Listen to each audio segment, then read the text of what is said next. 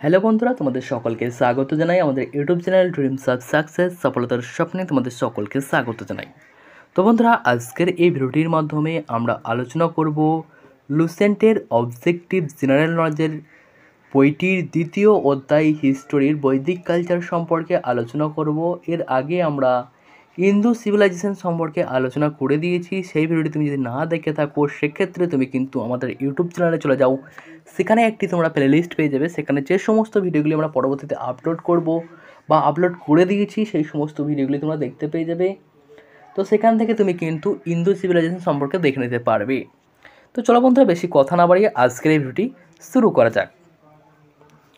তো বন্ধুরা, এই সমস্ত প্রশ্নগুলি কিন্তু খুবই গুরুত্বপূর্ণ তোমাদের প্রতিটি কম্পিটিটিভ এক্সামের জন্য। কারণ এই সমস্ত প্রশ্নগুলি প্রায় প্রতিটি কম্পিটিটিভ এক্সামেই রিপিট হয়, তাই তুমি কোনো প্রশ্নই কিন্তু মিস করবে না। আমরা কিন্তু লুসেন্টের অবজেক্টিভ জেনারেল নলেজের যে বইটি আছে, সেই বইয়ের সমস্ত প্রশ্নগুলি কিন্তু নিয়েছি, কোনো প্রশ্নই কিন্তু আমরা মিস করিনি। তো এখানে প্রথম কোশ্চেন দেখতে পাচ্ছ বন্ধুরা, প্রথম ইউরোপীয় কে, যিনি আর্যকে জাতি হিসেবে মনোনীত করেছিলেন তো এই আর্য বলতে বোঝায় উচ্চ জাত বা মহান। তাই এখানে সঠিক উত্তরটি হবে অপশন বি ম্যাক্স মোলার প্রথম ইউরোপীয় হিসেবে আর্যকে জাতি হিসেবে মনোনীত করেছিলেন। তো চলো বন্ধুরা, পরবর্তী প্রশ্নটি আমরা দেখে নেব। পরবর্তী প্রশ্ন এখানে দেখতে পাচ্ছ তোমরা। মনে করা হয় মহাভারতের যে যুদ্ধ হয়েছিল কুরুক্ষেত্রে, সেটি হয়েছিল কতদিন? তো এখানে সঠিক উত্তরটি হবে, মনে করা হয় মহাভারতের যুদ্ধ কুরুক্ষেত্র হয়েছিল আঠেরো দিন। এই কুরুক্ষেত্রে যুদ্ধ হয়েছিল কৌরব এবং পাণ্ডবদের মধ্যে। কিসের জন্য হয়েছিল? হস্তিনাপুরের সিংহাসনের জন্য কিন্তু এই যুদ্ধ হয়েছিল। পরবর্তী প্রশ্নটি আমরা দেখে নেব। পরবর্তী প্রশ্ন এখানে দেখতে পাচ্ছি বন্ধুরা, বৈদিক আর্যদের প্রধান খাদ্য কী ছিল? তো বৈদিক আর্যদের প্রধান খাদ্য ছিল মূলত দুধ এবং দুধজাত যে সমস্ত পণ্যগুলো তৈরি হয়, সেই সমস্ত পণ্যগুলি। পরবর্তী প্রশ্নটি আমরা দেখে নেব। পরবর্তী প্রশ্ন এখানে দেখতে পাচ্ছ বন্ধুরা, খুবই গুরুত্বপূর্ণ একটি প্রশ্ন দেওয়া হয়েছে। বয়সের ক্রমবর্ধমান ক্রমে আর্যদের সমাজে মানুষের জীবনের নিচের কোনটি সঠিক? সেটি তোমাকে চিহ্নিত করতে হবে কোনটি এখানে সঠিক। তো এখানে সঠিক উত্তরটি হবে অপশন বি। প্রথমে গার্হস্থ তারপরে ব্রহ্মচর্য, তারপরে বানপ্রস্থ, শেষে সন্ন্যাস। তো চলো বন্ধুরা, আমরা পরবর্তী প্রশ্নটি দেখে নেব। পরবর্তী প্রশ্ন, এখানে তোমরা দেখতে পাচ্ছ, নিচের মধ্যে কে সংস্কৃত ব্যাকরণ লিখেছেন? খুবই গুরুত্বপূর্ণ প্রশ্ন, প্রায় প্রতিটি কম্পিটিটিভ এক্সামে এই প্রশ্নটি বারবার রিপিট হয়েছে। তো এখানে সঠিক উত্তরটি হবে, নিচের মধ্যে সংস্কৃত ব্যাকরণ লিখেছেন, যিনি, তিনি হচ্ছেন পানিনি। তিনি প্রথম ব্যক্তি এবং প্রথম সংস্কৃত ব্যাকরণ লিখেছেন যিনি। পরবর্তী প্রশ্নটি আমরা দেখে নেব, পরবর্তী প্রশ্ন, এখানে তোমরা দেখতে পাচ্ছ ঋগ্বেদে কোন নদীর উল্লেখ নেই? খুবই গুরুত্বপূর্ণ প্রশ্ন। তো এখানে সঠিক উত্তরটি হবে ঋগ্বেদে প্রেডিয়ার নদীর উল্লেখ নেই। ঋগ্বেদে সাতটি নদীর উল্লেখ আছে। সিন্ধু, সরস্বতী, যমুনা, বিতাস্তা, চেনা বেপাসা এরাবতী, এই সমস্ত নদীগুলির উল্লেখ আছে ঋগ্বেদে। পরবর্তী প্রশ্নটি আমরা দেখে নেব। পরবর্তী প্রশ্ন, এখানে দেখতে পাচ্ছ, নিচের কোনটি ভারতীয় ইতিহাসের বৈদিক সংস্কৃতির প্রধান প্রভাব? তো এগুলির মধ্যে বৈদিক সংস্কৃতিতে প্রধান প্রভাব হচ্ছে বর্ণ ব্যবস্থার কঠোরতা। এটি হচ্ছে বৈদিক সংস্কৃতির প্রধান প্রভাব। পরবর্তী প্রশ্নটি আমরা দেখে নেব। পরবর্তী প্রশ্ন এখানে দেখতে পাচ্ছ, শ্রীমদ্ ভগবদ্গীতা মূলত কোন ভাষায় রচিত হয়েছিল? তো এখানে সঠিক উত্তরটি হবে শ্রীমদ্ ভগবদ্গীতা মূলত যে ভাষায় রচিত হয়েছিল সেটি হচ্ছে সংস্কৃত। অর্থাৎ option A is the right answer পরবর্তী প্রশ্নটি আমরা দেখে নেব। পুরুষোত্ত প্রবর্তিত হয়। কোন বেদে উল্লেখ আছে পুরুষোত্তর কথা? তো এখানে সঠিক উত্তরটি হবে অপশন এ। ঋগ্বেদে উল্লেখ আছে পুরুষোত্ত কথা। পরবর্তী প্রশ্নটি আমরা দেখে নেব। পরবর্তী প্রশ্ন এখানে দেখতে পাচ্ছ। ঋগ্বেদের স্রোতগুলি যতজন লেখকের কাজ, তো এখানে সঠিক উত্তরটি হবে। ঋগ্বেদের স্রোতগুলি অনেকজন লেখকের মিলে লিখেছে। অর্থাৎ option C is the right answer next প্রশ্ন আমরা দেখে নেব। নেক্সট প্রশ্ন এখানে দেখতেছ ভারত সরকার নিম্নের কোন নদীকে জাতীয় নদী হিসেবে ঘোষণা করার সিদ্ধান্ত নিয়েছে? তো এখানে সঠিক উত্তরটি হবে ভারত সরকার। নিম্নের মধ্যে জাতীয় নদী হিসেবে ঘোষণা করার সিদ্ধান্ত নিয়েছে গঙ্গাকে। অর্থাৎ option is the right answer next প্রশ্ন আমরা দেখে নেব। নেক্সট প্রশ্ন এখানে দেখতে পাচ্ছ। পতঞ্জলি সংকলনের জন্য সুপরিচিত।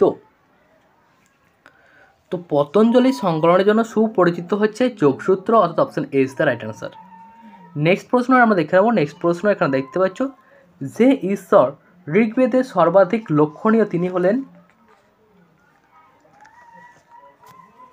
তো যে ঈশ্বর ঋগ্বেদে সর্বাধিক লক্ষণীয় তিনি হলেন ইন্দ্র অর্থাৎ option B is the right answer next প্রশ্নটি আমরা দেখে নেব। নেক্সট প্রশ্ন এখানে দেখতে পাচ্ছ ঋগ বৈদিকে ঈশ্বর বরুণ ছিলেন ঋগ বৈদিকে ঈশ্বর বরুণ ছিলেন? মহাজাগতিক আদেশের অভিভাবক অর্থাৎ option B is the right answer পরবর্তী প্রশ্নটি আমরা দেখে নেব। পরবর্তী প্রশ্ন, এখানে তোমরা দেখতে পাচ্ছ, নিভি, পরিধান এবং অধিবাসী এগুলি ছিল কি? নিভি, পরিধান এবং অধিবাসী এগুলি ছিল আর্যদের প্রধান সরি আর্যদের বিভিন্ন ধরনের পোশাক অথবা option is the right answer পরবর্তী প্রশ্নটি আমরা দেখে নেব। পরবর্তী প্রশ্ন, এখানে তোমরা দেখতে পাচ্ছ ভারতের সংস্কৃত ভাষার প্রথম ব্যাকরণবিদ পাণিনি যে সময় বাস করতেন। তো ভারতের সংস্কৃত ভাষার প্রথম ব্যাকরণবিদ পাণিনি যে সময় বাস করতেন, সেই সময়টি হচ্ছে খ্রিস্টপূর্ব ষষ্ঠ থেকে পঞ্চম শতাব্দীর মধ্যে তিনি বাস করতেন। পরবর্তী প্রশ্নটি আমরা দেখে নেব। পরবর্তী প্রশ্ন এখানে তোমরা দেখতে পাচ্ছ। রাজপতিক সত্যমের জয়তে শব্দটি নিচের কোথা থেকে গৃহীত হয়েছে? তো ভারতের রাজপতিক সত্যমের জয়তে এই শব্দটি গৃহীত হয়েছে মুন্ডক উপনিষদ থেকে, খুবই গুরুত্বপূর্ণ এই প্রশ্নটি। তো চলো বন্ধুরা, আমরা পরবর্তী প্রশ্নটি দেখে নেব। পরবর্তী প্রশ্ন, এখানে দেখতে পাচ্ছ, উপনিষদ যে বিষয়ের বই, তো উপনিষদ হচ্ছে দর্শন শাস্ত্রের বই, অর্থাৎ option D is the right answer পরবর্তী প্রশ্নটি আমরা দেখে নেব, পরবর্তী প্রশ্ন। এখানে তোমরা দেখতে পাচ্ছ, যোগ দর্শন প্রবর্তক ছিলেন কে?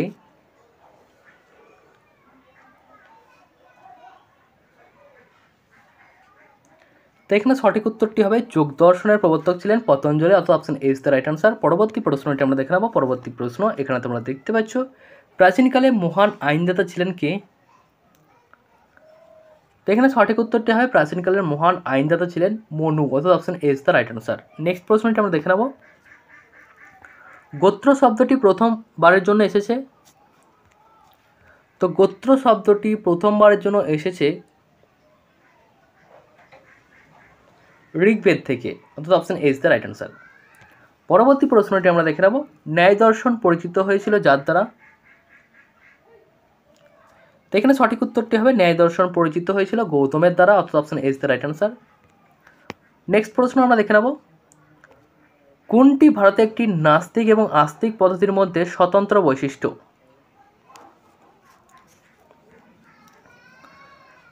তো এখানে সঠিক উত্তরটি হবে অপশান এ। ঈশ্বরের অস্তিত্ব এটি হচ্ছে নাস্তিক এবং আস্তিকের স্বতন্ত্র একটি বৈশিষ্ট্য। পরবর্তী প্রশ্নটি আমরা দেখে নেব। পরবর্তী প্রশ্ন এখানে দেখতে পাচ্ছ। অষ্টাধ্যায়ী লিখেছেন কে?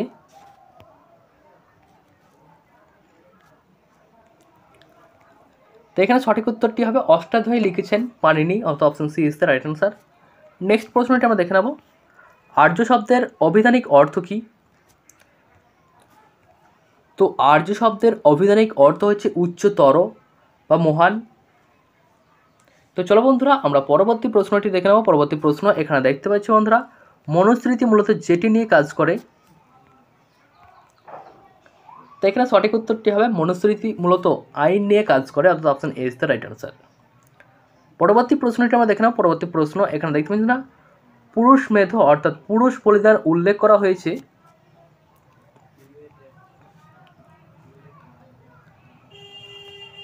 পুরুষ মেধ অর্থাৎ পুরুষ বলিদান উল্লেখ করা হয়েছে শতপথ ব্রাহ্মণে। অর্থাৎ option B the right answer পরবর্তী প্রশ্নটি আমরা দেখে নেব। পরবর্তী প্রশ্ন এখানে দেখতে পাচ্ছ। গায়ত্রী মন্ত্র কে রচনা করেন? তো গায়ত্রী মন্ত্র রচনা করেন বিশ্বমিত্র। এই গায়ত্রী মন্ত্র হচ্ছে ঋগ্বেদের সব থেকে পবিত্র মন্ত্র। এটি রচনা করা হয়েছিল সাবিত্রীর উদ্দেশ্য করে। তো চলো বন্ধুরা, আমরা পরবর্তী প্রশ্নটি দেখে নেব পরবর্তী প্রশ্ন, এখানে দেখে না ন্যায় সূত্রকের লেখককে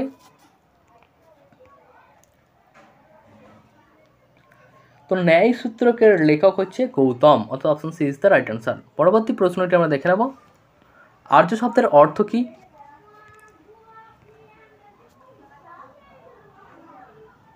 তো এখানে সঠিক উত্তরটি হবে, আর্য শব্দের অর্থ হচ্ছে ভালো পরিবার।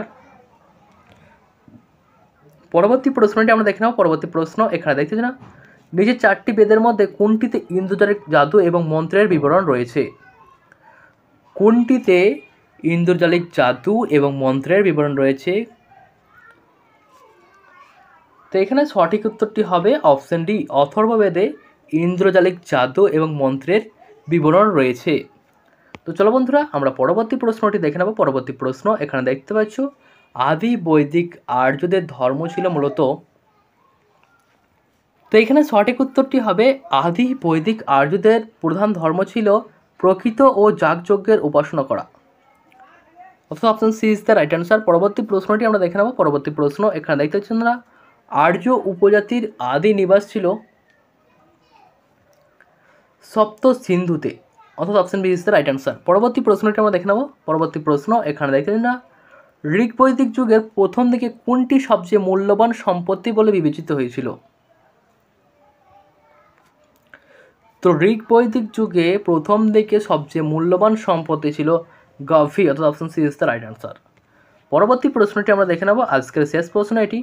স্বরাগ প্রতিস্ভেগ বংশ মন্মন্তর এবং বংশানুচরিত হলো যার সূচক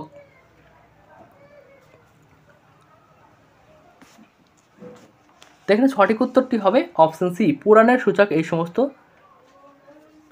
তো বন্ধুরা, আজকের এই ভিডিওটি এতটুকুই ছিল। ভিডিওটি কেমন লাগল অবশ্যই কমেন্ট করে জানিও। ভিডিওটি যদি ভালো লেগে থাকে, সেক্ষেত্রে লাইক করে তোর বন্ধুর সাথে শেয়ার করে দিও। তো চলো বন্ধুরা, দেখা হবে পরবর্তী কোনো এক ভিডিওতে। তখন ভালো থেকো।